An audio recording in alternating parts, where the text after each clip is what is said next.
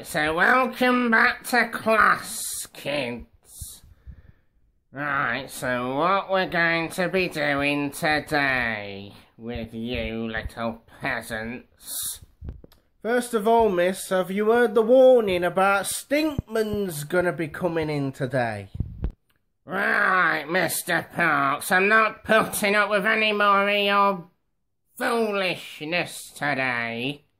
You will get a yellow slip, do you hear me? But Miss Stinkman, he could be arriving any minute now. Who knows? Then who's gonna protect us when he gets here? Right, the only protection you'll need is from a yellow slip and missing your dinners and your breaks. So if you need the toilet after that, you can shit and piss yourself.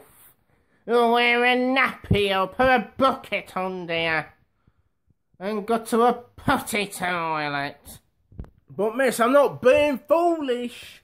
I heard it on the news and it could possibly be real that the Stinkman is on his way right now. You wait, you see what comes through that door next. Hello, 努力创业。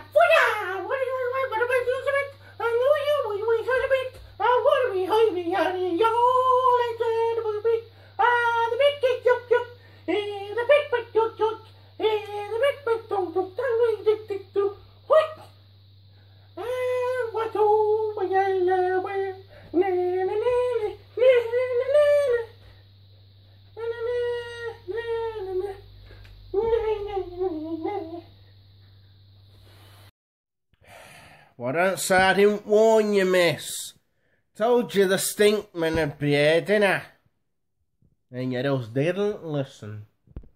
Right, actually, Mr. Parkes, I knew he was going to be here because I invited him specially for you. You what? Seriously? I mean, you invited him if.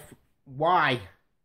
I mean, he's alright and everything. And I understand that he might be gay with his dancing and all that, but, you know. I just. I can be friends, but um, I don't swing that way, if you know what I'm saying. Oh, I know which way you swing, you peasant.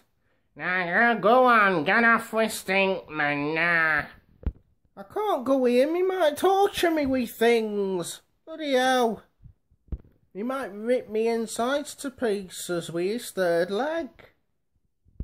Right, I'll torture you a lot more than that if you don't get out this classroom and you're on a yellow slip. Now go. And probably go to the toilet on the way because you stink and all. You might have had too many curries the night before.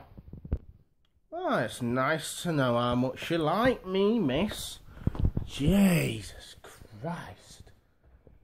Toodaloo, class.